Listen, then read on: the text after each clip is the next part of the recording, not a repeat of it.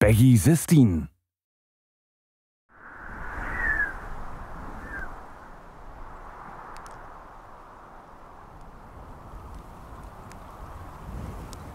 This is the story of four strangers who would somehow come to help a young German soldier find his love. But only if these five characters survive the horror of the trenches and follow their faithful canine companion. First, there's Emile, a French prisoner of war who ends up peeling potatoes for the Germans after a single bloody charge. Then there's Lucky Freddie, the American volunteer who always seems to find his way out of danger.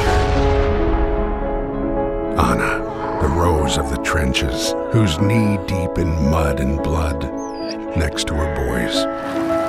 And there's George, the British aviator who lied about knowing how to fly. And finally, Karl, alone lost in the maze of trenches and sick with love for Marie, Emile's daughter.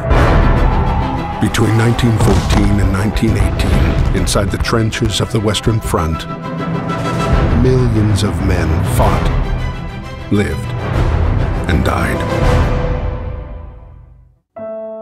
Some made it, some did not. Here are their stories.